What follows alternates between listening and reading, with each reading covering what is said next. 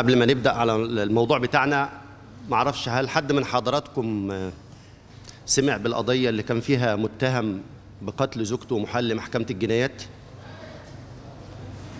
وما كانش ولم يتم العثور على جثة الزوجة؟ حد سمع عن القضية دي خالص؟ طب تحب تسمعوها؟ بما إننا بنتكلم في الأحوال الشخصية يعني.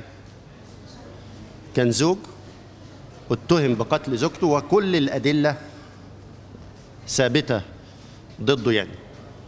لا ينقص إلا العثور على جثة المجني عليها. فموكله قعد يترافع قدام محكمة الجنايات. الراجل مش لاقي مخرج كل الأدلة بتدين موكله. فاجتهد ودي الرسالة اللي إحنا عاوزين نوصلها لحضراتكم يعني. فترافع أمام محكمة الجنايات حضرات السادة المستشارين. الأحكام الجنائية تبنى على الجزم واليقين والأدلة لابد أن تكون متساندة وألا يكون هناك احتمال ولو بسيط لبراءة موكلي. فإنني سأقدم لحضراتكم الآن الدليل على براءة موكلي من تهمة قتل زوجته.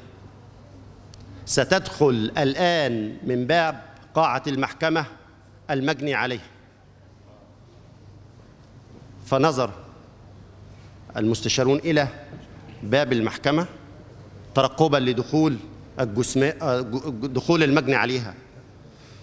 فاستغل المحامي تلك الثغرة على المحكمة موجها دفاعه بأن هذا دليل قطعي على أن عقيدة المحكمة لم تثبت ولم تقطع في الأوراق على ثبوت التهمة على موكله بدليل أن المحكمة ألقت ببصرها ترقبا لدخول المجني عليها وفي نهاية الجلسة المحكمة أصدرت حكما بالإعدام. طيب. فتساءل المحامي تساءل كيف ذلك؟ وعدالة المحكمة شاحت ببصرها وألقت ببصرها ترقبا لدخول المجني عليها فكان الرد ولكن راقبنا أعين الزوج وهو في قفص الاتهام فهو لم ينظر إلى الباب ليقينه أنه هو الذي قتل زوجته وأنه فعلا ارتكب الجريمة. المنطق. محامي مجتهد وكذلك القاضي له رسالة.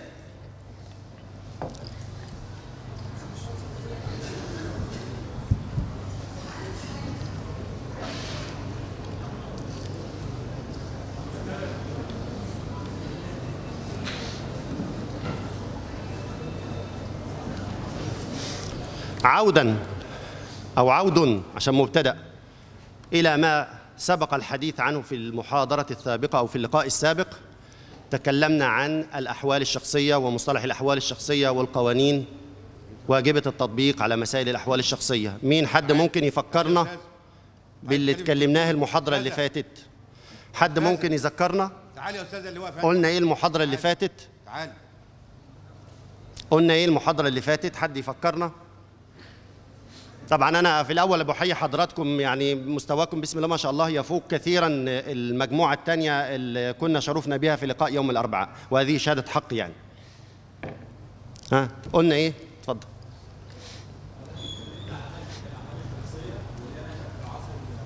تمام.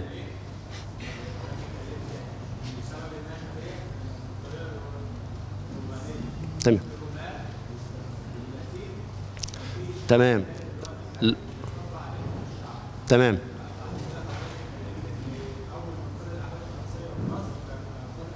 تمام.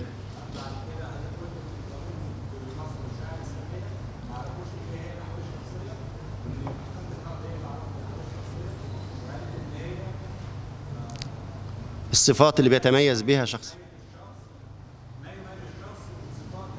عن غيره. مساء تمام.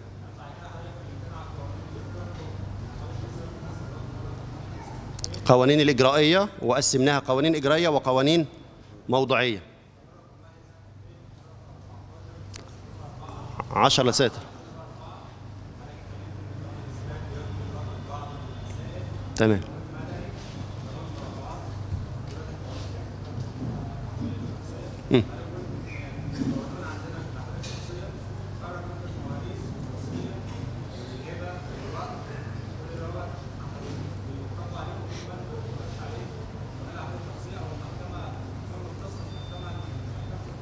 تمام.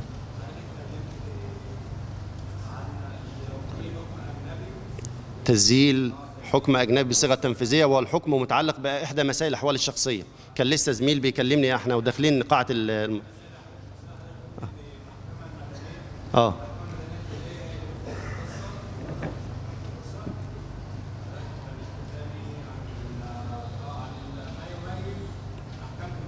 مسائل الأحوال.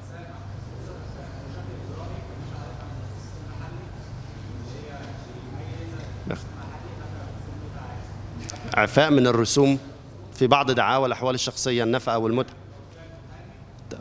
بعض الدعاوى مش كل الدعاوى الدعاوى اللي هي القليلة التي يعفى منها وهي اللي كانت تختص بها المحكمة الجزئية قبل صدور قانون الأسرة.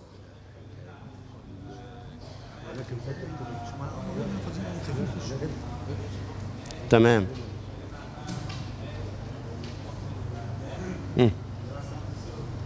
تمام.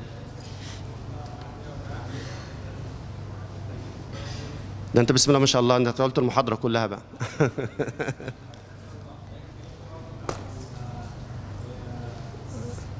جزاك الله كل خير.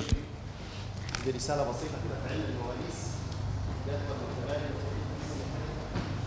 لكل مجتهد نصيب آه مش كلام مش كلام.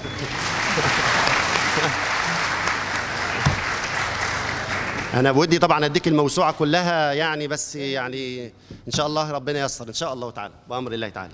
ده هو بتسجل المرة اللي فاتت كمان. لا بسم الله ما شاء الله يعني حتى النقاط البسيطة ألقى الضوء عليها لم ال- الخلاصة بتاعت كان المحاضرة. في ناس كويسين المرة اللي فاتت. لا ما جوش النهارده. ما جوش النهارده. تمام. طيب نذكر سريعا قلنا في بعض ال- القيود أو بعض الاستثناءات الوارده في القواعد العامة الإعفاء والتوقيع زي ما قال الرئيس. وبعدين عاوزين نركز على المسائل الخاصة بقى الإجرائية في قوانين الأحوال الشخصية والتي تمثلت في المادة 17 المادة 17 من قانون واحد لسنة 2000 اتفضلي. اللي ما كانوش موجودين. بنقول الأحوال الشخصية عشان لما نعرف ال- ال- ال- المصطلح بتاعها عشان نفرق ما بين المسائل التي تختص بها محكمة الأسرة والمع- والمسائل التي تختص بها المحاكم ال- المدنية أو أو ما إلى ذلك باعتبار أنه الاختصاص متعلق بالنظام العام. قلنا ليه تمتاز الأحوال الشخصية؟ ما إنها بتنظم المسائل اللي تمس حياة الشخص حياته الاجتماعية. ده بالمقارنة بباقي أفرع القانون. قلنا قبل صدور قانون واحد سنة 2000 وقانون محاكم الأسرة كانت مسائل الأحوال الشخصية متشعبة ما بين قواعد إجرائية وقواعد موضوعية ومحاكم آه، للمسلمين ومحاكم لليهود ومجالس ملية للمسيحيين. وكان في محاكم مختلطة.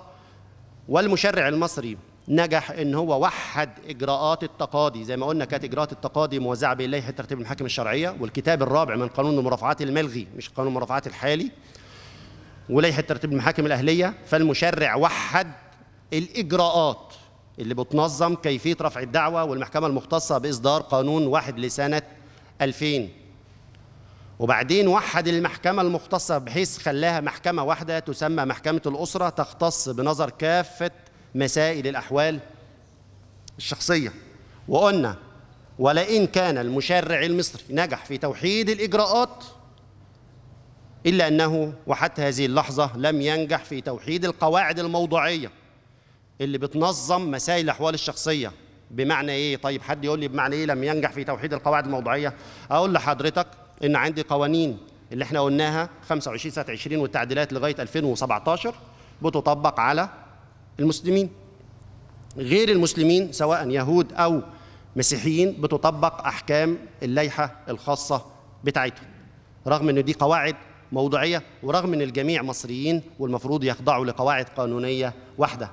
وده اللي إحنا بننشده من خلال جلسات الاستماع ومشاركتنا في آه، إعداد مشروع القانون. لعل وعسى الخير وممكن يكون في على أيدين حضرتكم مستقبلا بأمر الله عندما تتبوأوا المنا- المناصب القيادية.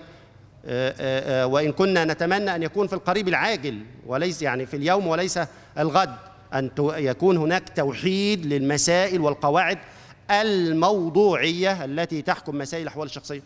توحيد القواعد الموضوعية هيسر علي أنا كقاضي وهيسر على حضرتك كمحامي أو متقاضي علشان هترجع لنفس القاعدة واحدة.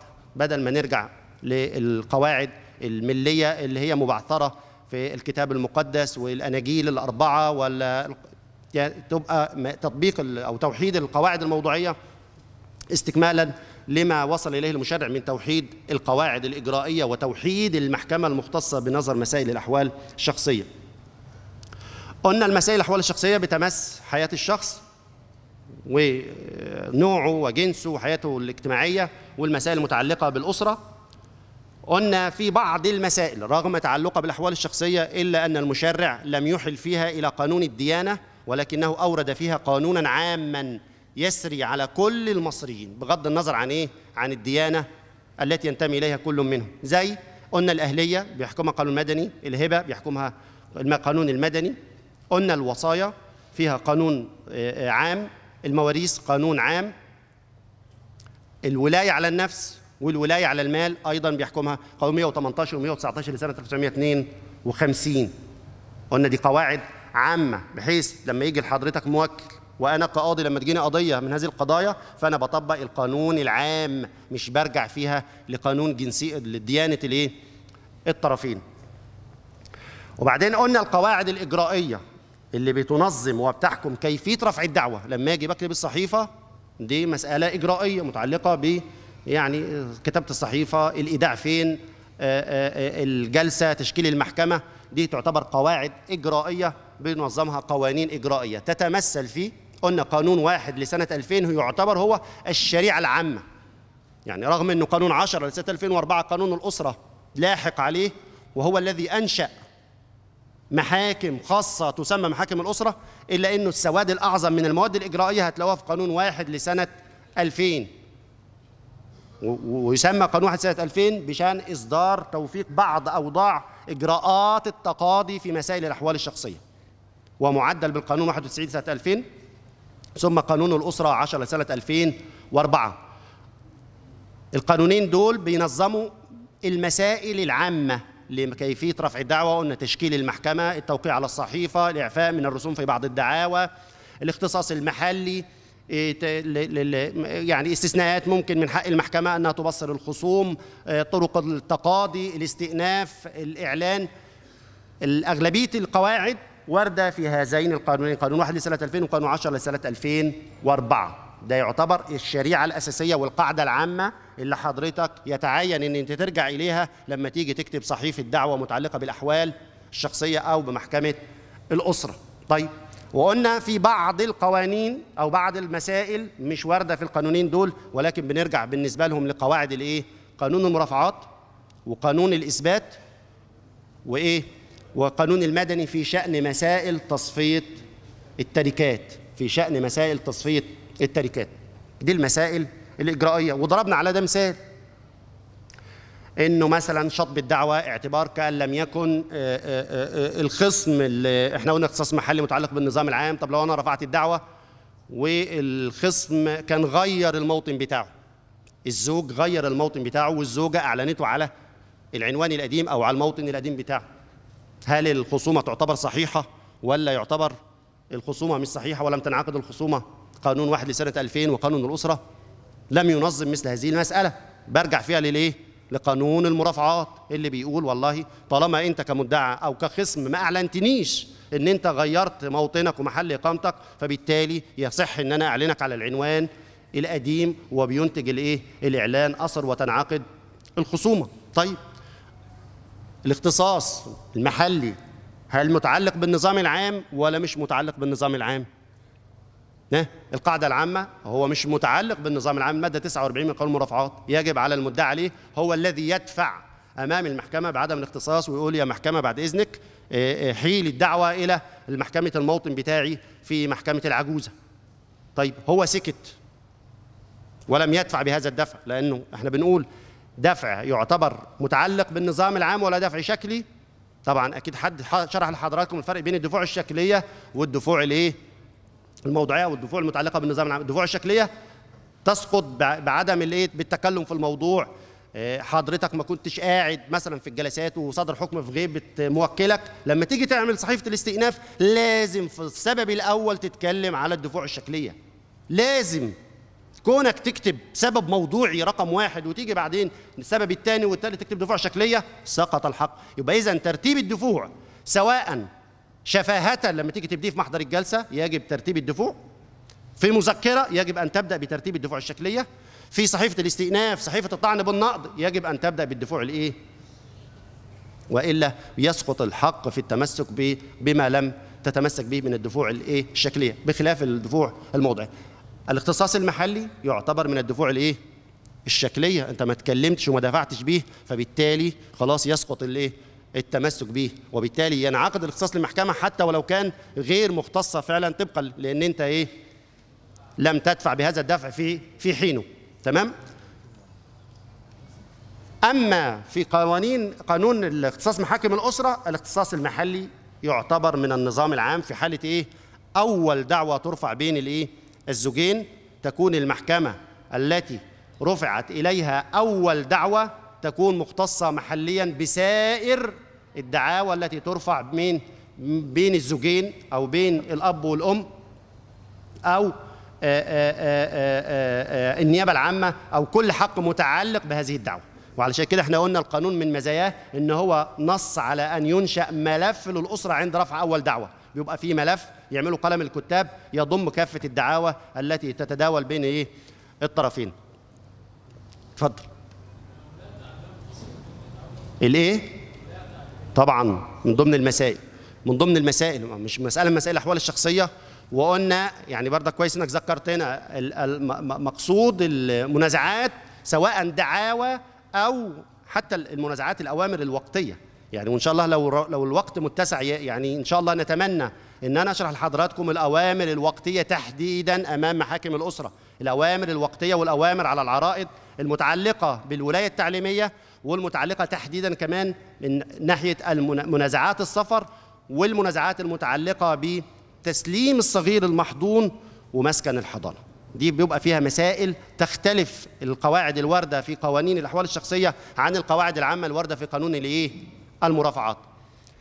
دي المسائل الايه؟ الإجرائية أو القواعد الإجرائية أو القوانين الإجرائية. يبقى قلنا قانون 1 سنه 2000 قانون 10 سنه 2004 ثم قانون المرافعات ثم قانون الإثبات اللي بينظم لي كيفية سماع الشهود والإعلام بحكم التحقيق وإنهاء حكم التحقيق والتزوير آه، ورقة عرفية حجية المراسلات ال- ال- ال- آه، دليل الكتابي مبدأ ثبوت بالكتابة ها؟ عدم جواز سابقة الفصل فيها كل دي مسائل بينظمها قانون- الإثبات ما بينظمهاش قوانين الأحوال الايه الشخصية.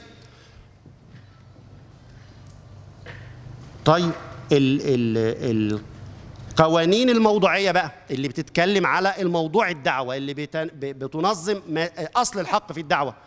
قلنا القوانين أيضا متعددة بدءا من قانون 25 لسنة 20 25 لسنة 1929 قانون 100 لسنة 85 قانون 4 لسنة 2005 قانون 2 لسنة 2006 قانون 214 لسنة 2017 و219 لسنة 2017 دي مسائل القواعد الموضوعية اللي بتنظم أساس ال ال ال النزاع في, في موضوع الحق زي ما بنقول سواء فيما يتعلق بالنفقة الطلاق الاعتراض الخلع النسب التبني النسب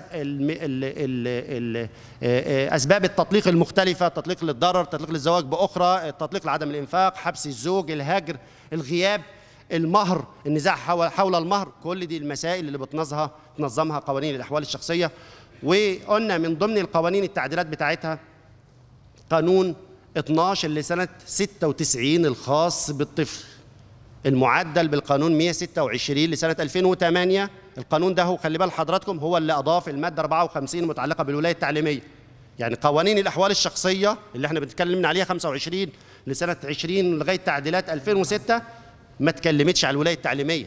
ما فيش نص بينظم الولاية التعليمية لمين؟ هل للحاضنة ولا للطرف غير الحاضن؟ مين القانون الذي نظم ونص على الولاية التعليمية؟ قانون 126 لسنة 2000 وكام و8 126 لسنة وثمانية اللي أضاف المادة 54 اللي بتنظم مسألة الولاية التعليمية اتفضل ليه؟ مم.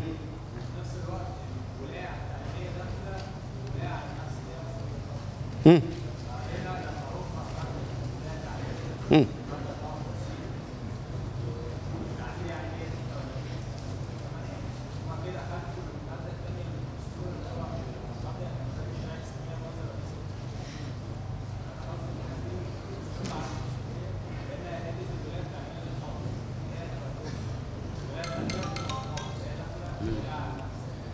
هو الأب بيشارك يعني في في والنص أنا على ما أتذكر إذا أثير نزاع في نوع التعليم في نوع التعليم فمن حق الطرف الآخر أن يتقدم بايه بقى؟ بيرفع دعوة ولا بيتقدم بأمر على عريضة لقاضي الأمور الوقتية أو رئيس من من هو قاضي الأمور الوقتية في محكمة الأسرة؟ المسائل الخاصة التي يختص بها رئيس محكمة الأسرة مودة في المادة الأولى من مواد إصدار قانون واحد لسنة 2000 هل من ضمنها المسائل آه، آه، المنازعة حول الولاية التعليمية؟ دي من المسائل اللي يختص بيها؟ مش واردة لا. ها أهو. المادة الأولى من مواد القانون واحد لسنة 2000 مواد الإصدار. يختص قاضي الأمور الوقتية بمحكمة دون غير التظلم من امتناع الموثق عن توثيق عقد الزواج مد ميعاد الجرد التركة اتخاذ الإجراءات التحفظية على التركات الإذن للنيابة العامة في نقل النقود والأوراق المالية التي يخشى عليها من التلف. خمسة آخر حاجة وأهم حاجة المنازعات حول السفر للخارج بعد سماع أقوال ذوي الشأن. فين الولاية التعليمية؟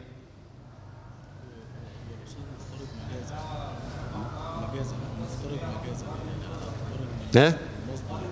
نتكلم فيها إن شاء الله. لكن هي ما فيهاش ما فيهاش عدم دستورية. لا ما فيهاش عدم دستورية. آه كنا بنقول إيه؟ خلاص عرفنا القوانين الموضوعية. خلي بال حضراتكم عشان قبل ما انسى القانون 126 اللي هو عدل قانون الكام؟ قلنا عدل قانون الإيه؟ قانون 12 قانون 12 ده قانون إيه؟ قانون الطفل. من هو الطفل؟ خلي بالكم مفهوم الطفل. في القانون الجنائي له سن وفي الأحوال الشخصية له سن وفي قانون الجنائي له سن صح كده؟ فمن هو الطفل بالنسبة لقانون الطفل القانون العام بقى من هو الطفل؟ ها؟ أنا عارف أنا أنا متعمد إن أنا الرئيس فهم القصة الرأي العام كله اتفضل ها؟ سن التمييز؟ لا أنا مش دعوة التمييز أقل من 18 صح كده؟ 15 لا ما تزعلونيش بقى. ها؟ عشان عاوز أوصل لكم معلومة مهمة بس. ها؟ هو خارج موضوعنا بس الكلام جاب بعضه. مرتبط برضه. أقل من 15 لا. ده هو مرحلتين. أيوه. أيوه. هي الصياغة دي اللي أنا عاوزها. يعتبر طفلا كل من لم يبلغ سنه ثماني عشرة سنة ميلادية كاملة. تمام؟ ده القانون كام؟ قانون 12 المعدل بالقانون 126 سنة 2008 كل من لم يبلغ سنه ثمانية عشرة سنة كاملة. طب نرجع للمادة 80 من الدستور الحالي. بتقول إيه المادة 80 من الدستور الحالي؟ من هو الطفل؟ ها؟ الفقرة الأولى من المادة 80 من الدستور الحالي. يعد طفلا ها؟ كل من لم يتجاوز الثامنة عشرة من عمره في فرق يا بهوات في فرق بين الصياغتين؟ ها؟ لا أنا عاوز واحد كده إيه يركز كده ويقول لي في فرق. اتفضل. لحد ال 18 آه. ده طبقا للنص القانون ولا نص الدستور؟ الدستور. ها؟ حد موافق؟ طب أنا أنا كمحكمة وحضرتك ك ك ك ك كرسالة ومحامي بتطبق الدستور ولا بتطبق القانون؟ دستور. ها؟ لا أنتوا أنتوا كده هتخلوني انسى اللي أنا كلمتين اللي جاي اقوله في الأحوال الشخصية. ماشي. يبقى قلنا القوانين الموضوعية. اتفضل. اللي بتنظم المسائل الأحوال الشخصية. خلينا نرجع تاني لأهم القيود الواردة على قبول بعض الدعاوى في مسائل الأحوال الشخصية. تمام؟ تضمنت هذه القيود المادة 17 من قانون واحد لسنة 2000 بنقول بتتكلم هذه القيود على قبول الدعوة يعني حاجة شكلية. الدعوة تكون غير مقبولة. قلنا القيد الأول المادة 17 قالت لا تقبل الدعاوى الناشئة عن عقد الزواج عند الإنكار طبعا. إذا كانت إيه؟ سن لا تقبل الدعاوى الناشئة عن عقد الزواج. إذا كان سن الزوجين أقل من السن الإيه؟ السن المحددة قانونا. لا تقبل الدعاوى الناشئة عن عقد الزواج. إذا كانت سن الزوجة تقل عن 16 سنة ميلادية أو كانت سن الزوج تقل عن كام؟ 18 سنة ميلادية. يبقى لما يجي لحضرتك أو لحضرتك موكل أو موكلة. السن بتاعتها أقل من السن ده يبقى الدعوة غير إيه؟ مقبولة. ولازم يكون الاثنين سنهم ولغت للسن. طبعا إحنا قلنا القانون اتعدل برضه قانون آه، آه، 126 أضاف لقانون الأحوال المدنية 143 ل- آه، آه، رفع السن وخلاها 18 سنة لإيه؟ للزوجين. فبالتالي الدعوة التي ترفع من أو على أحد الزوجين اللي سنه أقل من 18 سنة تبقى الدعوة إيه؟ غير مقبولة قلنا هذا الدفع يعتبر متعلق بالنظام العام. المحكمة يجب عليها أن تتصدى ليه من تلقاء إيه؟ نفسها. وقلنا العبرة بالسن بوقت رفع الإيه؟ الدعوة وليس بوقت عقد الزواج. وقلنا الحكم الذي يصدر بعدم القبول لا يحوز حجية. ما يمنعش بعد كده إنه إيه؟ ترفع دعوة تانية. قلنا هذا المنع حتى ولو كان هناك إقرار بالزوجية. برضك الدعوة غير إيه؟ غير مقبولة. بل قلنا حتى لو كانت الزوجية ثابتة بوثيقة رسمية والسن أقل برضك الزوجية الدعوة غير مقبولة. وأشرنا للمادة 227 من قانون العقوبات اللي قالت إنه كل من يدلي أمام الجهة المختصة بتوثيق عقود الزواج سواء أمام المأذون مكتب الشهر العقاري أمام التمثيل اللي هم الق- القنصل المصري في الخارج ب- بإدلاء ببيانات غير صحيحة بقصد بلوغ إثبات بلوغ أحد الش- الش- ال- الأشخاص سن القانوني للزواج. دي جنحة معاقب عليها بالإيه؟ بالحبس.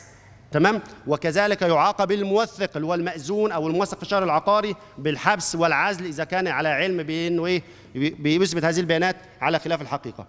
الفقرة الثانية لا تقبل عند الإنكار الدعاوى الناشئة عن عقد الزواج في الوقائع اللاحقة على أول أغسطس سنة 31 ما لم يكن الزواج ثابتا بوثيقة رسمية. اللي هي بتتكلم على الزواج الإيه؟ العرفي. النص بيقول لا تقبل الدعاوى الناشئة عن عقد الزواج إلا إذا كان ثابتا بوثيقة رسمية.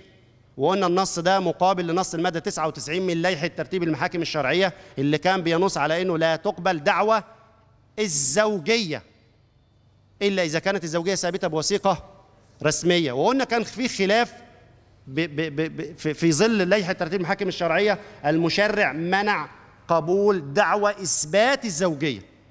كان النص بيقول إيه لا تقبل دعوى الزوجية إلا إذا كانت ثابتة بوثيقة رسمية. وقلنا أثير خلاف. طيب الدعاوى الناشئة عن الزوجية ليست الزوجية في حد ذاتها ولكن الدعاوى الناشئة عنها. هل تقبل ولا لا تقبل؟ قلنا كان في اتجاهين. رأي بيقول الدعوة مقبولة لأن النص هو يح- يحظر ويمنع قبول الدعوة التي ترفع بطلب إثبات الزوجية فقط لا غير. أما الدعاوى التي تترتب على هذه الزوجية فهي تعتبر إيه؟ مقبولة. تمام؟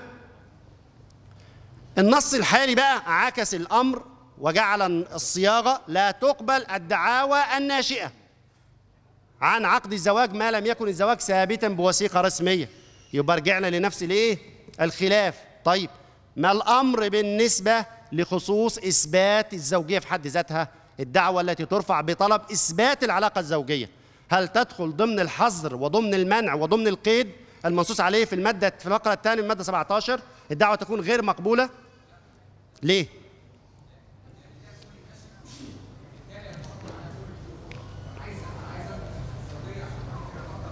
بس النص صريح لا تقبل الدعاوى الناشئة. فبالتالي الدعوة بإثبات الزوجية تكون مقبولة. تقبل؟ ولا لا تقبل؟ لا تقبل؟ في موضوع السن؟ لا لا السن ده الفقرة الأولى خلصنا منها الفقرة الأولى. خلاص يا جماعة السن الفقرة الأولى خلصنا منها. بنت... آه. لا تقبل. يعني إذا الدعوة التي ترفع بطلب إثبات العلاقة الزوجية من الزواج الغير الموثق مقبولة. لا ما برضه خلي بالكم النسب دايما نحطها قاعدة. قاعدة دعاوى النسب مستثناة من كل القيود اللي إحنا قلنا عليها. دعاوى النسب مستثناة من كل القيود. يعني حتى لو كان سن الزوجين أقل من 12 سنة الدعوة مقبولة. دعوى النسب دي فوق الإيه؟ حماية ل... للنسب. خلاص؟ للصغير اللي ملهوش إيه؟ ذنب. دعوى الزوجية التي ترفع بطلب إثبات العلاقة الزوجية فقط لا غير مجردة. الدعوة بترفع بطلب إثبات علاقة زوجية مش طلب ما فيش طلبات تانية في الصحيفة. الدعوة مقبولة ولا غير مقبولة؟ لا ما هو الزوج منكر. النص بنتكلم في حالة التساؤل في حالة الإنكار. لو الزوج مقر خلاص مفيش مشكلة برضه. لا طب هنثبتها إزاي والدعوة غير مقبولة؟ ها؟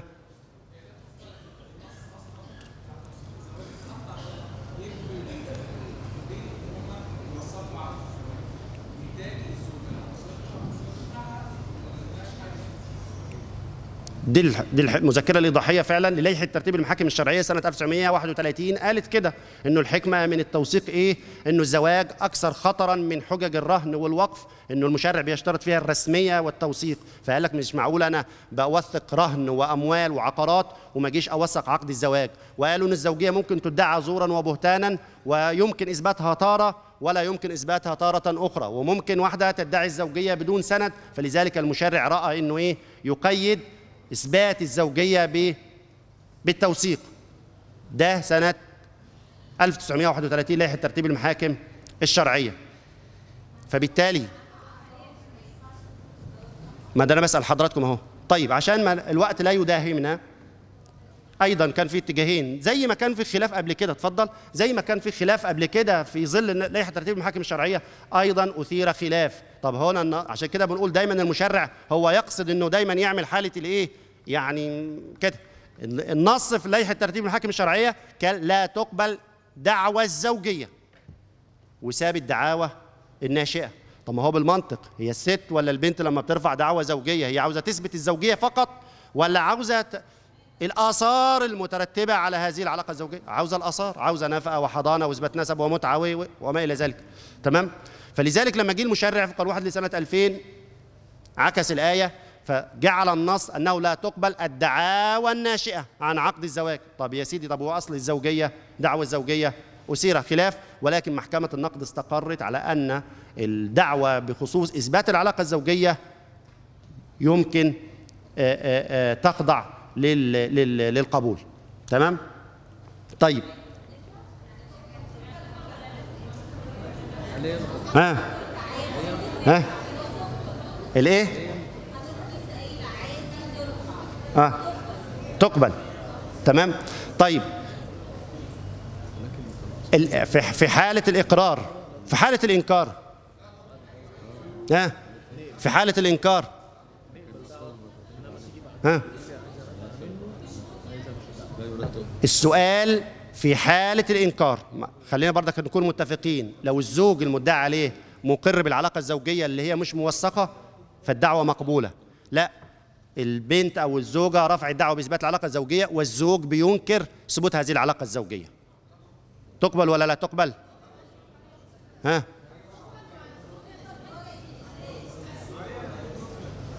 تقبل؟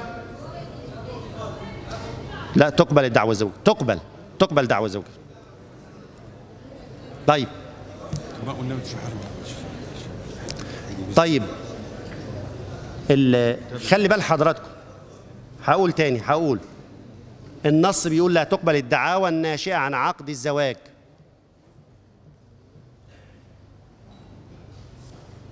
قلنا الدعوة في خصوص إثبات العلاقة الزوجية. طب الدعوة التي ترفع بإنكار العلاقة الزوجية.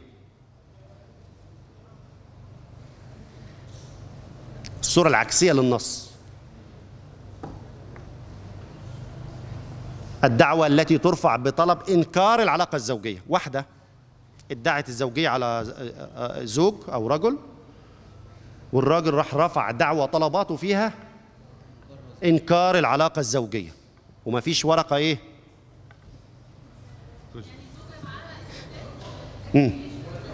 أو فرد تاني هي رفعت دعوة بنفقة أو أي أثر من آثار الزوجية والراجل راح عمل دعوة فرعية أو طلب عارض برفض الدعوة الأصلية وطلب أصليا إيه عدم الاعتداء أو أو إنكار العلاقة الزوجية هل يقبل الطلب العارض؟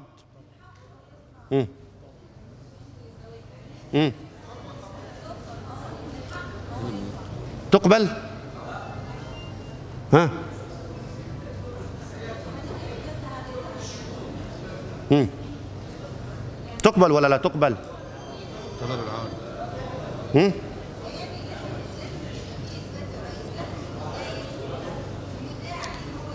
طب إحنا إحنا لما نرجع ل- لحكمة النص هو المشرع لما عمل القيد في المادة 17 قلنا إيه المذكرة الضحية قالت إيه؟ إيه الحكمة من توثيق عقد الزواج؟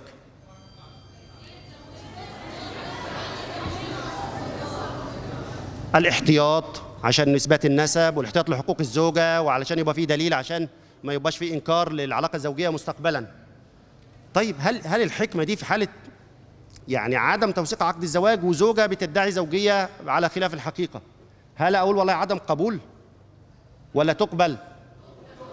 تقبل. إنه القيد ما فيش ما فيش قيد عندي. دعوة الإنكار. وفعلا دعوة إنكار العلاقة الزوجية تعتبر خارجة من نطاق الاستثناء. طيب دعوة بطلان عقد الزواج. برضك ولد وبنت وقال والله ده كان في مشروع زواج. عقد وما حصلش تراضي والزوج رفع عليه دعوة صحة توقيع وأنا أنكرت دعوة صحة التوقيع يا محكمة احكمي لي ببطلان الإيه؟ عقد الزواج. الدعوة تبقى مقبولة؟ ها؟ مقبولة؟ طيب طب سؤال تاني المراجعة المراجعة زوج طلق زوجته وبعدين رجعها تاني. هل تقبل دعوى المراجعة؟ يعني بدون عند الإنكار. الزوج الصورة. الزوج راجع زوجته بعد ما طلقها وهي أنكرت وقالت لا أنت رجعت العد المراجعة تمت بعد انتهاء العدة. فحصل نزاع في في في في ثبوت صحة المراجعة من عدمه. وما ما عندوش دليل. مكتوب على المراجعة. ما يعني ما راحش للموثق ويوثق المراجعة. هل تخضع دعوى المراجعة في الحالة دي لقيد المادة 17 فقرة 2 ولا تقبل؟ طب اللي تقبل تقبل ليه؟ ها.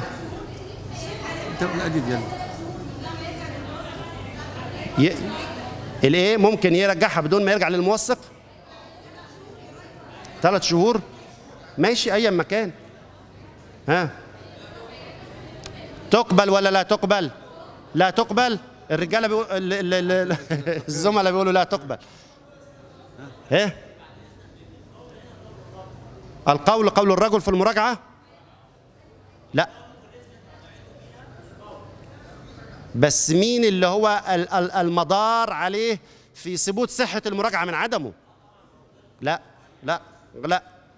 القول قول من في ثبوت صحة المراجعة؟ لا مش الرجل. ليه؟ هو الرجل اللي بيعتد. هو الطهر وانقضاء العدة بيبقى للراجل ولا لل- للزوجة؟ القول قول الزوجة بيمينها عندما يحصل خلاف بين الاثنين في ثبوت المراجعة. هو بيقول أنا رجعتها خلال مدة العدة. هي بتقول لا المراجعة كانت بعد انتهاء العدة وثبوت الطهر. مين اللي هيفصل؟ هي. خاص إذا ده مرهون بحالة لو كانت العدة بتنقضي بالإيه؟ بالحيض لأنه هي هي تؤتمن في مثل هذا الأمر. وتؤتمن بيمينها تؤتمن بيمينها. وبشرط إنها تحلف اليمين قدام المحكمة إنه فعلا عدتها انقضت بتاريخ كذا في تاريخ سابق على تاريخ الإيه؟ اللي الزوج بيقول إن هو رجع إيه؟ زوجته. تمام؟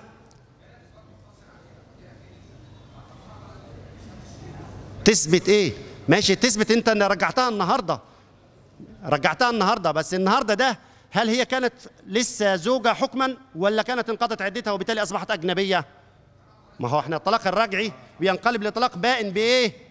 بانقضاء العدة طالما انقضت عدتها خلاص أصبحت إيه؟ ينقلب الطلاق الرجعي إلى طلاق إيه؟ بائن ولا تحل إلا بمهر وعقد ما لم يكن طلاقا مكملا للثلاث وضحت؟ فالقول في صحة المراجعة الأصل فيه يرجع فيه للزوجة بيمينها بشرطين إنه يكون المسألة متعلقة بالعدة الحيض تمام؟ الحاجة التانية المدة اللي بتقرر فيها بانقضاء العدة بتاعتها لازم تكون مدة برضك إيه؟ يعني معقولة وتكون متفقة مع الشرع. يعني ما ينفعش طبعا معروف أقل مدة للحيض عند مذهب الإمام أبو حنيفة 60 يوم ما ينفعش تيجي هي تقول لك والله لا ده أنا بعد 30 يوم. يعني يبقى القول في صحة المراجعة بالنسبة لها بيمينها مرهون بقيدين يكون الموضوع متعلق أنها من ذوات الحيض. الحاجة الثانية أن يكون إقرارها في المدة المعقولة التي تتفق مع أرجح الأقوال من مذهب الإمام إيه؟ أبو حنيفة. ليه؟ هيجرنا للقيد اللي بعد كده لا يعتد في إثبات المراجعة. ها؟ خلي بالك. لا يقبل للزوج يرفع دعوة بإثبات مراجعة زوجته ما لم يعلنها قبل المراجعة بالمدة بالمراجعة في المدة المحددة في النص. تمام؟ نرجع لنص المادة كام؟ كام المادة اللي بتتكلم على المراجعة؟ آه طبعا طبعا. وإلا لو انقضت المدة قبل أن يعلنها فلا يعتد بها لا تقبل. اتفضل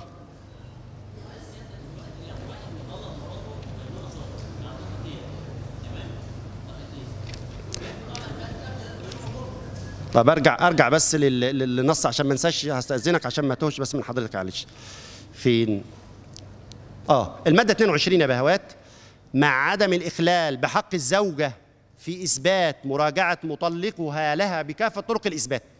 يبقى الزوجة المطلقة من حقها تثبت إن زوجها قام بمراجعتها بكافة طرق الإيه؟ الإثبات بينة وشهادة الشهود وما إلى ذلك. تمام؟ لا. لا يقبل عند الإنكار.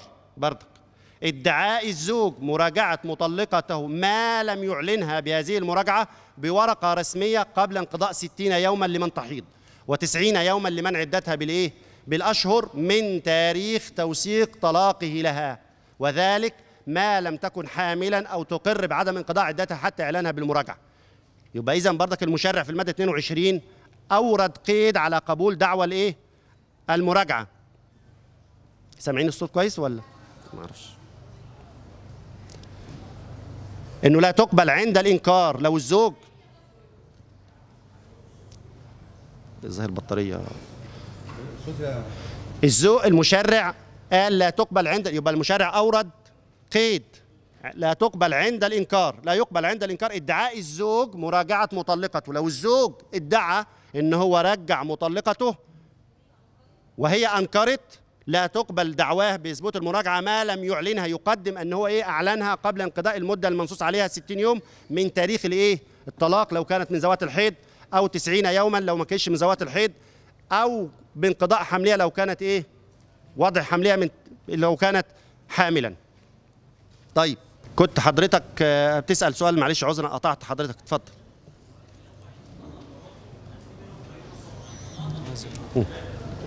امم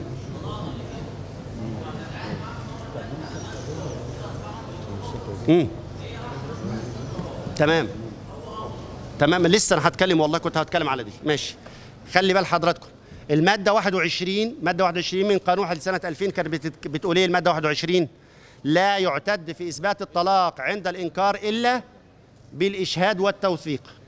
نص المادة 21 لا يعتد في إثبات الطلاق لا يعتد في إثبات الطلاق عند الإنكار إلا بالإشهاد والتوثيق. يعني زي ما قال الرئيس في المثال بتاعه لو الزوج الزوجة ادعت إن زوجها طلقها وما معهاش دليل كتابي كإشهاد طلاق فالدعوة بتاعتها تكون غير إيه؟ غير مقبولة. لكن المحكمة الدستورية في 2006 قضت بعدم دستورية هذا النص فيما تضمنه من قصر إثبات وقوع الطلاق على على الإشهاد أو التوثيق وبالتالي أجازت للمطلقة أن تثبت الطلاق بكافه طرق الإثبات بما فيها البينة وشهادة الإيه؟ شهادة الشهود. ماشي؟ يبقى نرجع للمادة 17 قلنا القيد الأول خاص بالسن القيد الثاني خاص بإيه؟ بدعاوى الزواج غير الموثق. إثبات الدعاوى الناشئة عن إيه؟ عن عقد الزواج غير الموثق والمشرع قال لا تقبل عند الإنكار. وقلنا الإنكار لابد أن يكون انكارا إيه؟ صورتين. إما إنك... قد يكون إنكار صريح وممكن يكون إنكار إيه؟ ضمني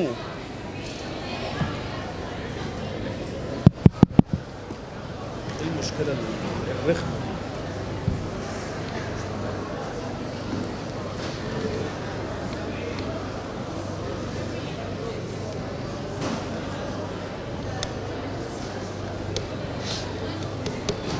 ها؟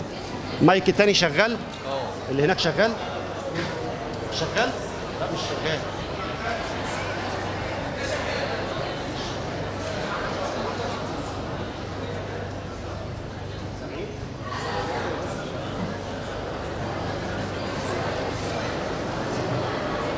طيب نسمع نسمع مع بعض.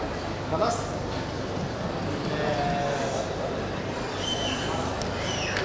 القيد الثالث القيد الثالث بيتكلم على عدم ها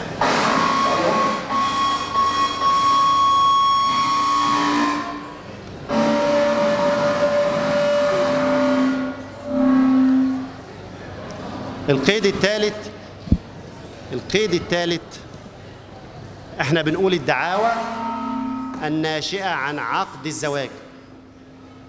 طيب قلنا بشرط انه يكون إنكار. نطاق عدم قبول الدعاوى يعني الزواج غير الموثق. قلنا الدعوة بتبقى غير مقبولة في حالة عدم في حالة الإنكار. نطاق عدم القبول ده إيه؟ نطاق عدم القبول إيه؟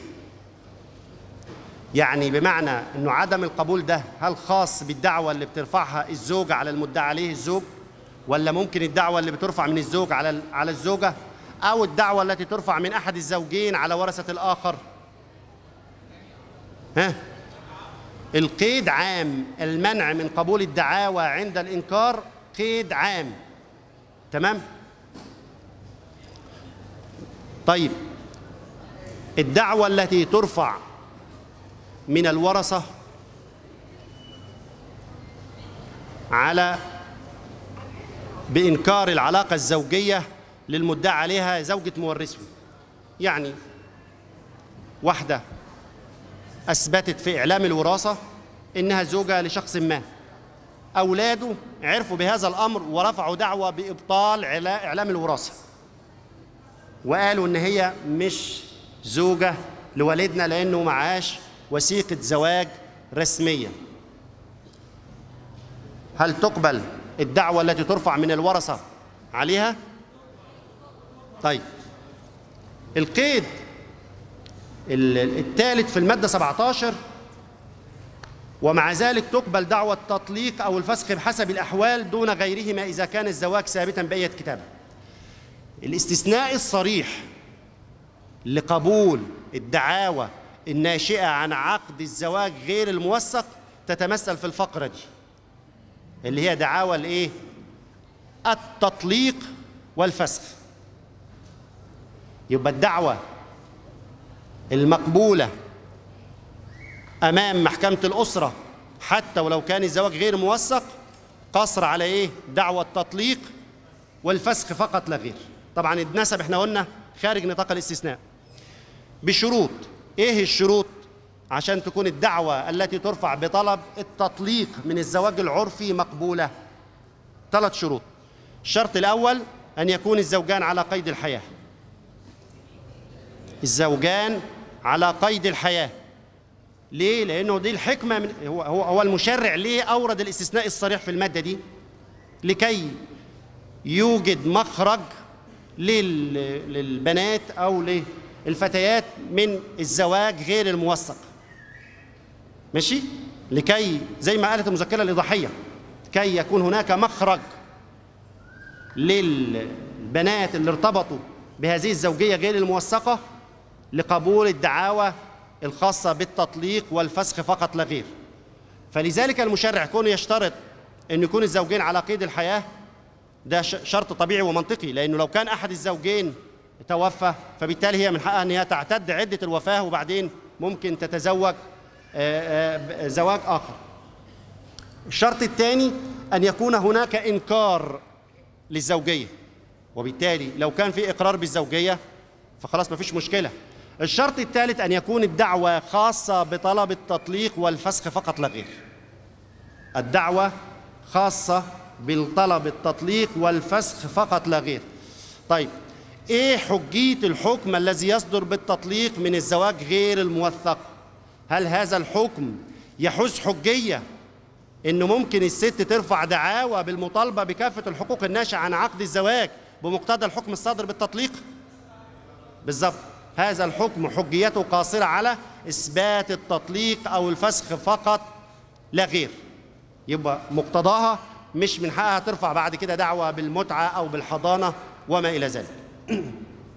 القيد الأخير لا تقبل دعوة طلاق بين الزوجين متحد الطائفة والملة إلا إذا كانت شريعتهما تجيزه. هذا القيد الفقرة الأخيرة خاصة بغير المسلمين. يعني لما يبقى في دعوة مرفوعة بين أقباط أرثوذكس بالتطليق أو غير مسلمين عموما يشترط لقبول الدعوة أن تكون شريعة الطرفين تدين أي تعترف بإيقاع الطلاق عندهم بإيقاع الطلاق. واضح؟ يشترط لقبول دعوة التطليق التي ترفع بين غير المسلمين أن تكون شريعتهما تعترف بالطلاق. إحنا عندنا ملة واحدة بس التي لا تعترف بالتطليق وهي طائفة الإيه؟ الكاثوليك. ما عندهمش إيه تطليق. خلاص؟ يبقى أي دعوة أحد طرفيها كاثوليك الدعوة تكون غير إيه؟ مقبولة. غير مقبولة. طيب. السؤال بقى لحضراتكم. لو كانوا مختلفين. لو كانوا مختلفين. كاثوليكي متجوز واحدة أرثوذكس ورفعوا دعوة طلاق. ها؟ الدعوة مقبولة ولا غير مقبولة؟ اللي بيقول مقبولة يقول مقبولة ليه؟ واللي غير مقبولة غير مقبولة ليه؟ مقبولة علشان مختلفين في الطائفة والملة. يعني إيه؟ بطبق الشريعة الإسلامية؟ ها.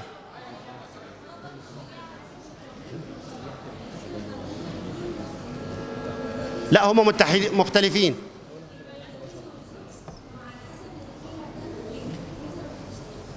لا. أنا العبرة بالاتحاد إحنا عشان ممكن يكون عشان ما تكلمناش على شروط تطبيق الشريعة الطائفية ها أن يكونوا متحدين وقت رفع الدعوة. أنا ماليش دعوة بتاريخ إبرام عقد الزواج. قد يكون الزواج أبرم طبقا للكنيسة القبطية الأرثوذكسية. ولكن حصل تغيير بعد كده لطائفة أخرى أنا ماليش دعوة بيه بال بال بعقد الزواج أو الخطبة تمت على طائفة معينة. المعيار عندي علشان أقول الزوجين متحدين في الطائفة والملة وبطبق عليهم أحكام الشريعة الخاصة وقت رفع الدعوة. ماليش دعوة بوقت عقد الزواج. عشان حتى لما أثير الخلاف ما هو المعيار اللي أنا أعتد به في رأي. قال العبرة بوقت عقد الزواج. في رأي. قال العبرة بالخطبة. تمت على أنه ملة وطائفة وبالتالي هي اللي يعتد بها في رأي تاني قال لك العبرة بوقت نشوء النزاع. لما حصل خلاف بين الزوجين وقت نشوء النزاع. هل هم كانوا متحدين؟ أطبق عليهم الشريعة الطائفية. ولا مختلفين؟ أطبق عليهم الشريعة الإسلامية. لكن هذا المعيار وهذا المعيار وهذا المعيار كلها معايير غير منضبطة. واحدة تزوجت طبقا الكنيسة القبطية الأرثوذكسية وبعدين حصل إنها غيرت الملة بتاعتها أو تمت خطبتها على لائحة طائفة معينة وبعدين تزوجت على في ظل لائحة تانية أو طائفة تانية.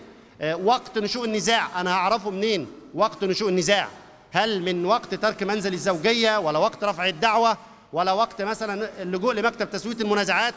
كلها معايير غير منضبطة. لذلك المشرع اتخذ من معيار وقت رفع الدعوة هو المعيار والأساس اللي أنا أعتد به. أشوفهم متحدين فبطبق عليهم الشريعة الطائفية. لو مختلفين بطبق عليهم القواعد العامة في الشريعة الإيه؟ الإسلامية أو القانون ال- الموضوعي. طيب. عرفنا القيود الإجرائية. في الوقت المتبقي عاوزين نلقي الضوء على بعض المسائل الموضوعية بقى. عاوز اتكلم مع حضراتكم في بعض المسائل الموضوعية. إحنا قلنا قوانين الموضوعية إيه؟ قانون 25 سنة 20 25 سنة 29 و100 سنة 85 و4 لسنة 2005 و2 لسنة 2006 والتعديلات الأخيرة اللي إحنا قلنا عليها. طيب هل حد من حضراتكم عنده رؤية لقضية معينة أو نوع معين من دعاوى الأحوال الشخصية؟ الطلاق الخلع الحضانة ال- ال- حاجة معينة ممكن نتكلم فيها؟ الإيه؟ الاستضافة. ماشي ماشي ها. برضك يسري عليهم. الزواج بالنسبة لقيود الزواج سواء تم الزواج في الخارج وفي الداخل يخضع لنفس القواعد. مم. الرؤية. ماشي منازعات الرؤية والاستضافة. وإيه تاني؟ حد يقول أي حاجة من ها؟ الميراث وفقا للشريعة الإسلامية. ماشي. حاضر. ها؟ قائمة المنقولات. ماشي. إيه؟ نعم. الاستمرار الحضانة حاضر. طيب. الذهب. عيار كام؟ ماشي. ماشي. ماشي. قبل ما نتكلم على النقاط اللي حضراتكم أثرتوها أسأل بس سؤال. دعوى المتعة. بما تتقادم دعوى المتعة. واحدة قعدت ما طلبتش المتعة بتاعتها. يمضي عليها كام وقت عشان لما ترفع على الزوج من حقه يدفع بسقوطها بالتقادم؟ 24 شهر. ده نص الكام؟ إيه؟ 15 سنة؟ والنص إيه؟ سندك إيه؟ إيه؟ ملهاش تقادم. طب تظل سيف مسلط على رقبة الرجل مدى الحياة؟ إزاي؟ ده حتى الشريعة الإسلامية قال لك استقرار ال- الحقوق ده حاجة بالظبط. تخضع القواعد والرئيس قال 15 سنة. ما عنديش نص في قانون واحد لسنة 2000 ولا قوانين الأحوال الشخصية تقول لي دعوى المتعة مثلا تتقادم بمضي كام سنة. فبالتالي لو الزوجة قعدت مثلا 15 سنة ما ترفعش دعوة بالمتعة وبالتالي من حق الزوج يدفع بإيه؟ بانقضاء طبقا للقواعد العامة خلاص؟ طيب الرؤية أولا ما هو النص اللي بينظم مسألة رؤية الأطفال المحضونين؟ إيه النص؟ لما يجي لحضرتك حاضنة ولا الزوج ويقول فيه نزاع على رؤية الصغير إيه النص اللي أنا برجع له علشان أشوف المسألة اللي بتنظم الرؤية ها قانون الرؤية ها؟ ها؟ المادة 20 من قانون 25 اللي إحنا قلنا عليه المادة 20 بتتكلم على سن المحضون وبتتكلم على ترتيب الحضانة والحاضنات وكده. وبعدين باقي الإجراءات المواعيد والسند التنفيذي واردة في القانون الإيه؟ قانون الإجرائي واحد لسنة 2000 سن الحضانة كام؟ للذكر والأنثى بعد التعديل. الحضانة بتكون لمين؟ الام ثم الأقرب ليهم. تمام؟ الأم هي الحاضنة ويثبت الحق للأب في الإيه؟ في رؤية الصغير المحضون. القانون لم ينظم كنص قانوني الأحكام المتعلقة برؤية الصغير المحضون، وإنما أحال بشأنها إلى وزير العدل. القرار الذي يصدره وزير الإيه؟ العدل. وزير العدل أصدر في شهر في سنة 2000 القرار 1078 لسنة 2000. ألف خلي بال حضرتك الكلام ده مهم جدا قرار رقم 1078 لسنة 2000 صدر في شهر 3 سنة 2000 حوالي سبع ثمان مواد على ما أعتقد بينظم المسائل المتعلقة بالرؤية من حيث المدة والأماكن اللي بتحصل فيها الرؤية وامتناع الحاضنة عن تنفيذ حكم الرؤية والآثار المترتبة وإزاي أثبت عدم الامتناع. الجديد بقى حضراتكم هل تعلموا أنه محكمة القضاء الإداري أصدرت في 31 7 2019 حكما بإلغاء قرار وزير العدل هذا؟ محكمة القضاء الإداري في 7 2019 أصدرت حكما هاما أو مهما قضت فيه بإلغاء قرار وزير العدل رقم 1078 لسنة 2000 الذي ينظم أحكام رؤية الصغير. فيما تضمنه عشان يكون الكلام محدد وواضح المحكمة قضت بإلغاء القرار فيما تضمنه من ثلاثة نقاط.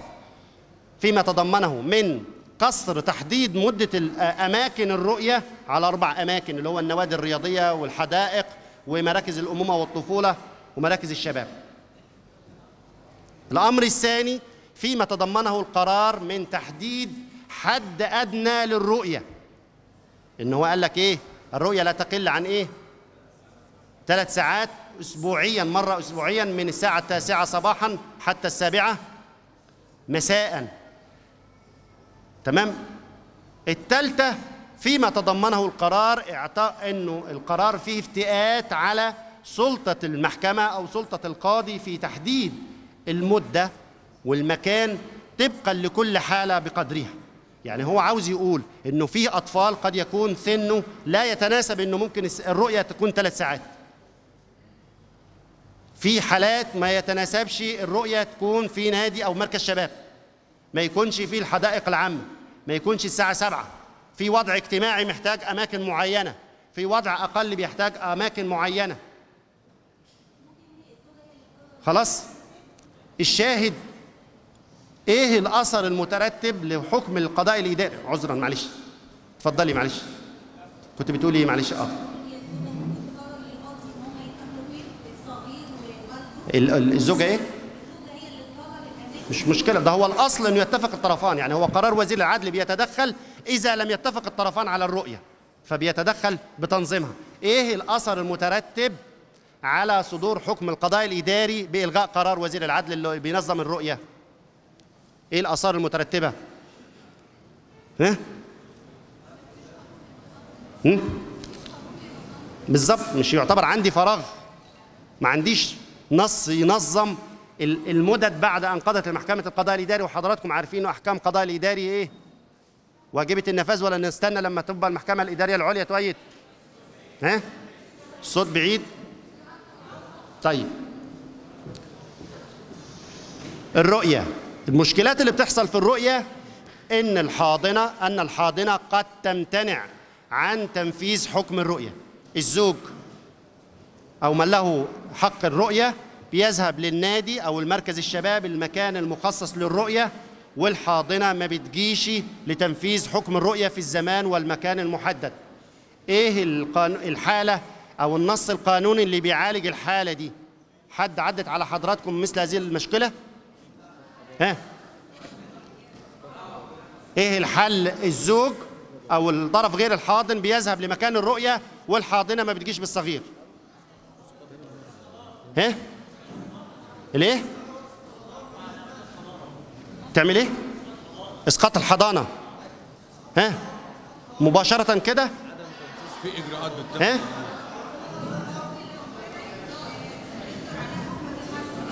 حكم بالحبس؟ لا. لا ده إحنا كجنحة كجنحة. أيوه. يبقى الإجراء الأول من حق الشخص اللي صدر له حكم بالرؤية أن يقدم طلب للقاضي رئيس محكمة الأسرة متظلم متظلما من هذا الإجراء والقاضي طبقا للقانون من حقه إنه ينذر ها أو يعمل إنذار للحاضنة لتنفيذ حكم الإيه؟ الرؤية. طيب إذا تكرر منها الامتناع جاز للقاضي جاز للقاضي بناء على الطلب بردك دعوة أن يأمر القاضي بنقل الحضانة وليس إسقاط. نقل الحضانة إلى من تليها لمدة يقرره. يعني بردك القاضي خلي بال حضراتكم مقيد بترتيب الحاضنات. ما ينفعش إنه يكون والدتها على قيد الحياة وتتوافر فيها شروط الحضانة إنه ينقل الحضانة لمين؟ للأب أو للجد أو لجد أو لجدة الأب. القاضي مقيد بترتيب الحاضنات. دي نقطة. النقطة الثانية أنه نقل الحضانة يكون لمدة محددة يقدرها القاضي تبعا لظروف كل إيه؟ كل حالة. طيب هي التزمت وقالت خلاص أنا هلتزم بتنفيذ حكم الرؤية هل تر... تر... تعود لها الحضانة مرة أخرى ولا لأ؟ طيب ترفع دعوة جديدة ولا بذات السند التنفيذي؟ ها؟ طيب كلام جميل طب ناخد الصورة طيب قبل ما ناخد الصورة العكسية كيف يتم إثبات نقول الحاضنة عن تنفيذ حكم الرؤية؟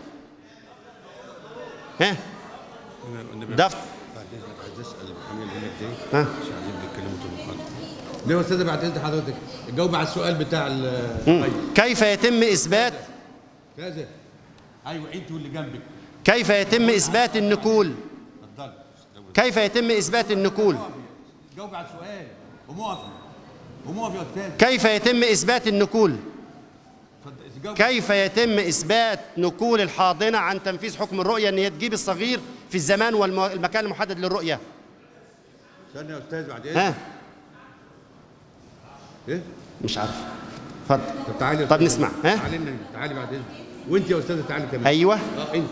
تعالي. أيوه.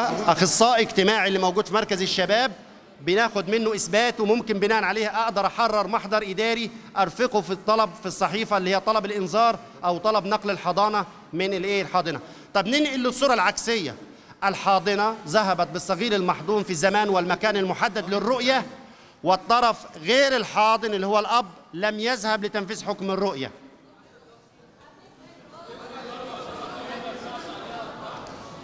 إيه؟ طب نسمع آه ده فاتر ده الإثبات. أنا قصدي ما هو الأثر المترتب؟ إيه الجزاء؟ زي ما المشرع عمل جزاء على الحاضنة اللي تمتنع عن تنفيذ حكم الرؤية إنه يتم إنذارها وإذا تكرر الامتناع يتم نقل الحضانة. طيب الأب الذي يمتنع ويتخلف عن تنفيذ حكم الرؤية. إسقاط الحضانة؟ طب لما أسقط الرؤية أنا مش بعاقب الصغير؟ أنا بعاقب الصغير. الحضانة خلي بال حضراتكم الحق في الحضانة هو حق مشترك للحاضنة والطرف غير الحاضن والصغير المحضون. فأنا لو أسقطت الرؤية أنا كده بأضر بالصغير المحضون. ها؟ طالبه بتعويض طيب ماشي. ها؟ الشاهد اللي أنا عاوز أوصله لحضراتكم أن هناك فراغ تشريعي يعالج هذه الحالة. أنا ما عنديش نص يعالج الحالة دي. إيه الإجراء الواجب الاتباع؟ إن أنا أعمل إيه؟ تمام؟ أنا اقترحت إنه يكون في عقوبة أو غرامة تهديدية على الأب. تتمثل هذه الغرامة التهديدية المالية في قيمة ما تكبدته الحاضنة من نفقات انتقال بالصغير المحضون إلى الزمان والمكان الخاص بتنفيذ حكم الرؤية. ولا أقضي بإسقاط الرؤية لأنه الرؤية فيها حق متعلق بحق مين؟ الصغير. طيب الاستضافة. اتفضل. عشان في نقاط كتير عاوزين نقولها. والله في كلام حلو كتير. اتفضل.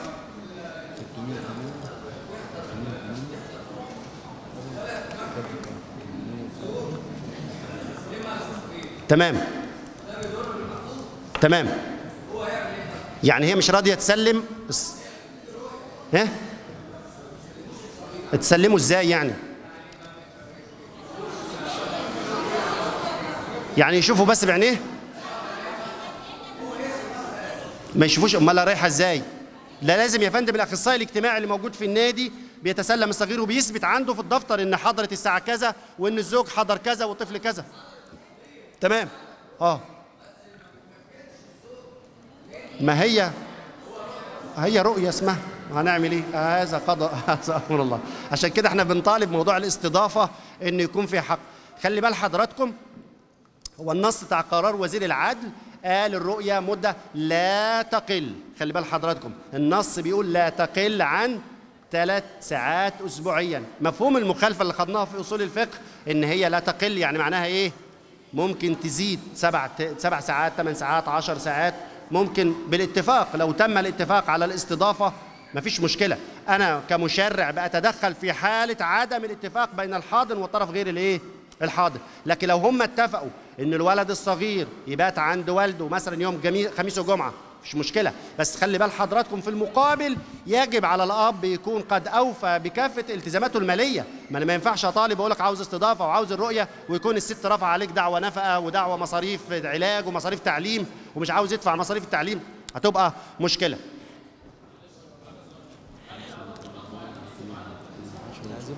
هي المرة الأولى والمرة الثانية إنذار وبعدين المرة الثانية يتم نقل الحضانة. ولو هي أقرت والتزمت الحضانة ترجع لها تاني. ولو عادت التكرار بردك نفس الإيه؟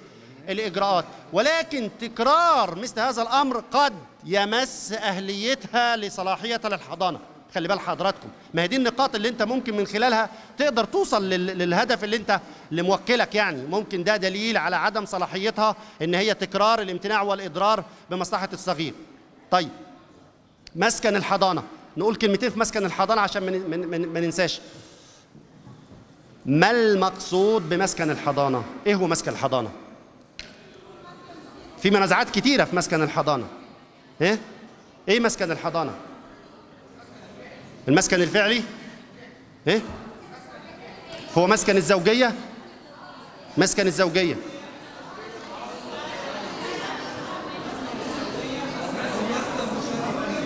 مسكن الزوجية أو مسكن مشابه ليه؟ هو أنتوا ما اشتغلتوش مسكن حضانة خالص؟ دعوة حضانة خالص؟ إيه؟ طب بلاش مسكن الحضانة. ما هو المسكن البديل؟ المشرع بيقول إن الزوج يهيئ لزوجته مسكن اللي هو مسكن الزوجية كذا. أو يخيرها بين الاستقلال بمسكن الحضانة أو ي...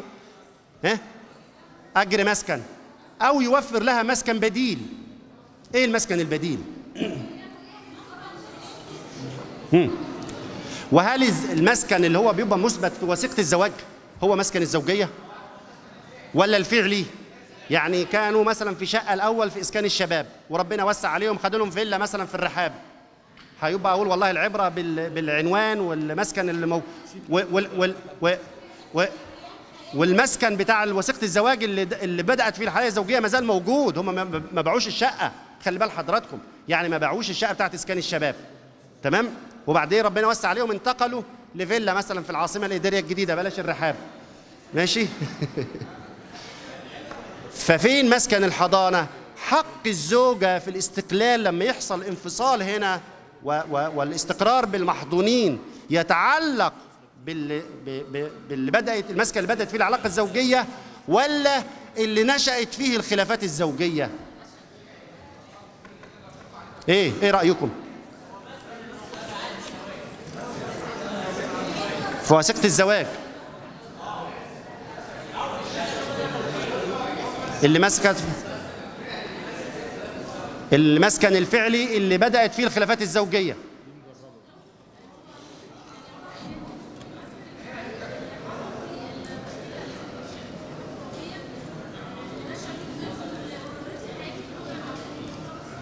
ليه ليه ليه؟ ماشي. ما هي مصلحتهم إنه يقعدوا في شقة الشباب برضك 90 متر كويس؟ وجنب الم إيه؟ مثلا.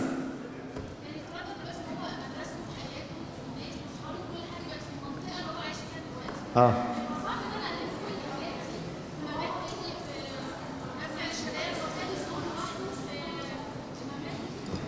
امم قول.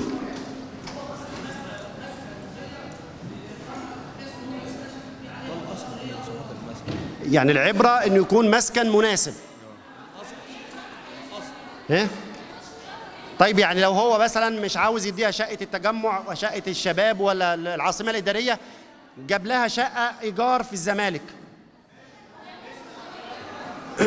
شقة إيجار في الزمالك والراجل سدد الإيجار بتاع الشقة طيلة مدة الحضانة كلها لغاية الولاد ما يوصل 15 سنة. أشيك من الحصيرة يا دكتور؟ أي ظرف هتبقى أشيك من القصيره مش كده؟ ها؟ شغال؟ مقبول؟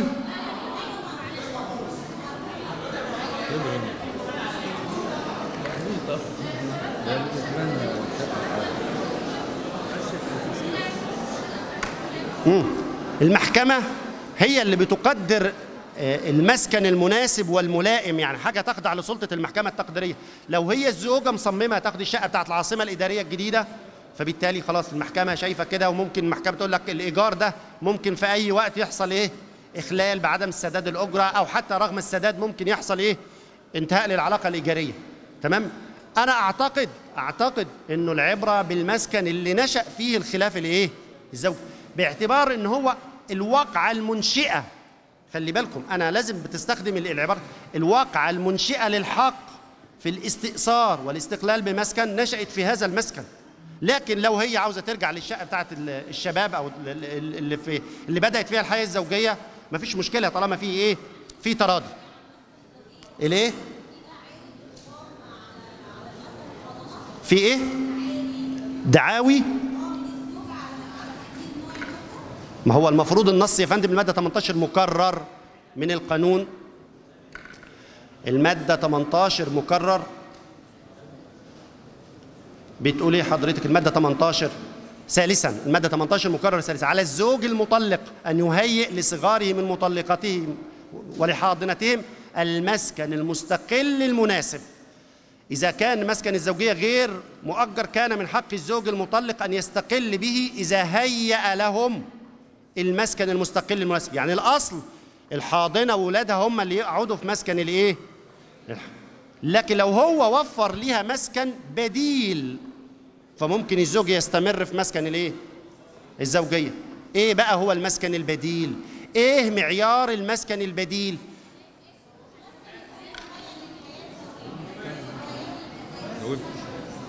طيب النص بيقول بعد كده الفقرة الأخيرة يخير القاضي الحاضنة يخيرها بين الاستقلال بمسكن الزوجية وبين أن يقدر لها أجر مسكن يعني هو بيقول لها تقعدي في الشقة أو تاخدي أجر مسكن صح كده؟ طيب إيه الأثر المترتب على تخلف هذا الإجراء؟ المحكمة ما خيرتش الحاضنة قالت هي تقعد في الشقة وخلاص فجالك الزوج وسمع عن حضرتك وإن أنت مت... يعني باعك طويل في الأحوال الشخصية. يا أستاذة ده المحكمة أغفلت إن هي تخير مطلقتي بين إن أنا أدفع لها أجر مسكن حضانة وبين الاستقلال بمسكن الزوجية. إيه الأثر المترتب على عدم قيام المحكمة بتخيير الحاضنة بين الأج... بين الأمرين دول؟ هل يترتب عليه ده بطلان الحكم؟ النص بيقول يخير ها؟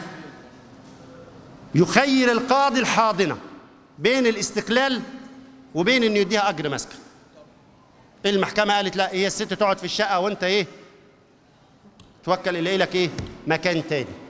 فجه الزوج لحضرتك وقال لك ارفع لي قضية أو شوف لي إيه الحل إيه الأثر المترتب على عدم تخيير المحكمة أو القاضي المطلقة بين ال- الإجراء ده وبين الإجراء ده. بطلان؟ سلطة تقديرية للمحكمة؟ بس النص قال لك يخير القاضي. ها ليه آه آه. في شقة تملكه الإيجار. كويس. بارك الله فيك برضك. خدنا معلومة. في فرق تمليكه بين الإيجار. آه. آه. مقدم لا. أنا أنا لما تليت على حضراتكم تريت الفقرات التي لم يقضى بعدم دستوريتها أنا عارف ان قضى بعدم دستوريتها قضاء عدم الدستوريه انصب على جزئية معينة ألا وهي إلزام الزوج بتوفير مسكن الحضانة خلال فترة العدة. بس بس دايما حكم الدستورية ارجع له هتلاقيه فيما تضمنه النص. خلي بالك العبارة كلمة فيما تضمنه زي ما إحنا قلنا قرار وزير العدل اللي قضت محكمة القضاء الاداري بإلغائه ما قضتش إلغاء القرار كله. قالت فيما تضمنه يعني هي بتوجه عدم الدستورية لإيه؟ لنقاط معينة. نعم. تمام.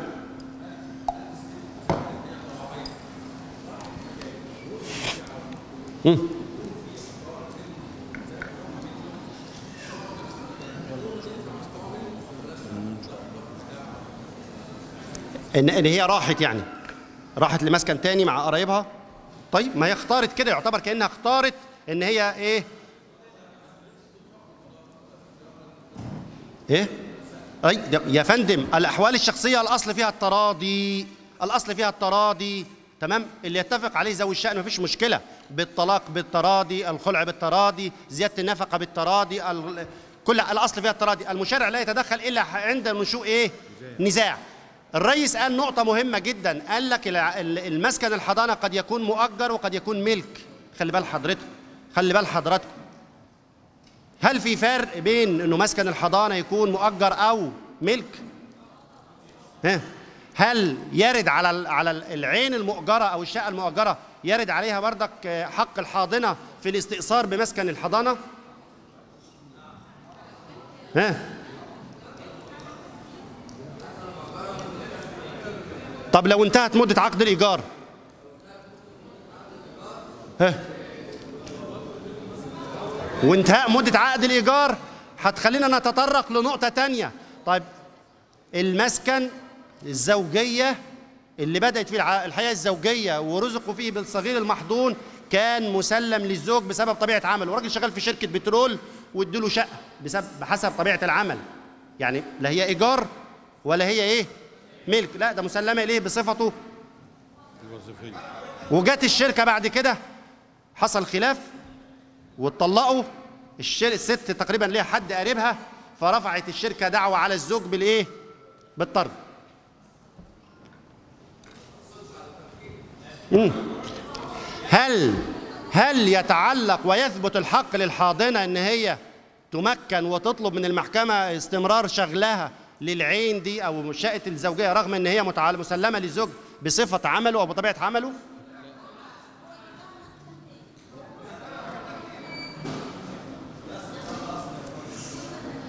إيه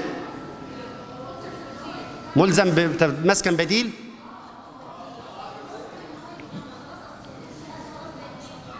يعني اذا حق الزوجة أو حق الحاضنة مش مطلق في كل الحالات إن هي لازم تمكن من مسكن الحضانة.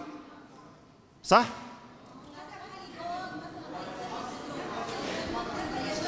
الأصل أنها تمكن والاستثناء.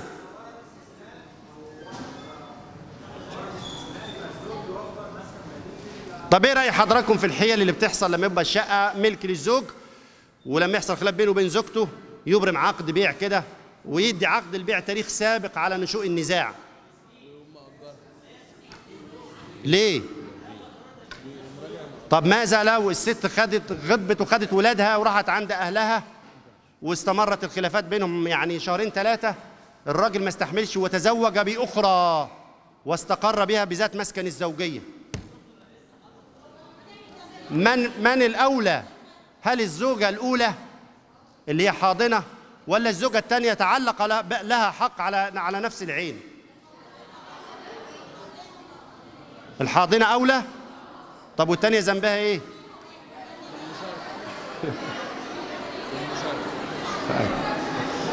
ها إحنا لينا محاضرة تانية إن شاء الله. لازم. أنا تحت الأمر. طيب عشان في أغلبية مرتبطين بمواعيد وكان نفسي أتكلم معاكم في المتعة.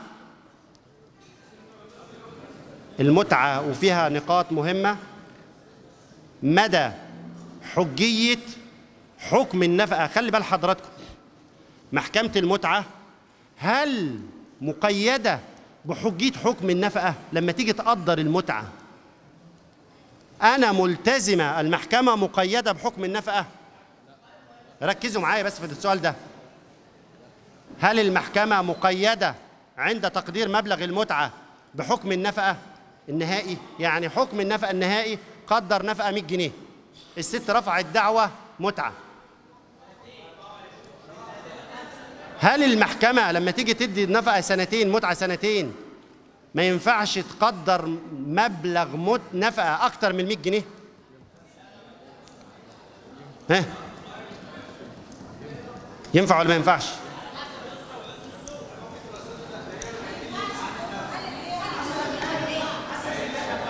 أنا عندي حكم. ما هو نص المادة قال إيه تقدر نف- ب- بنفقة سنتين؟ نفقة. طيب فكروا فيها لو لنا لقاء إن شاء الله تعالى نجاوب عليه.